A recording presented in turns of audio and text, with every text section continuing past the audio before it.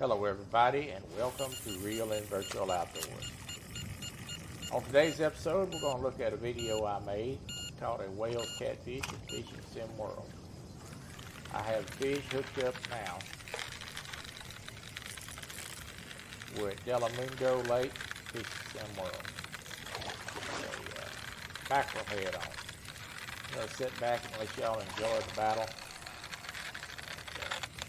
Be back to talk about the fish shortly.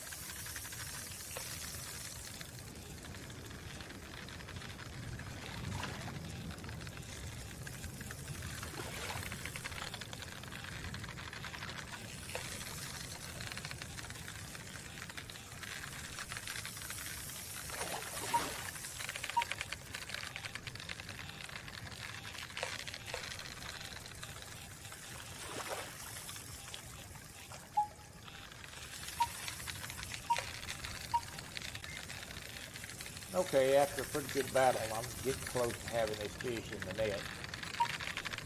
This fight lasted about four or five minutes. He's making one more run on me.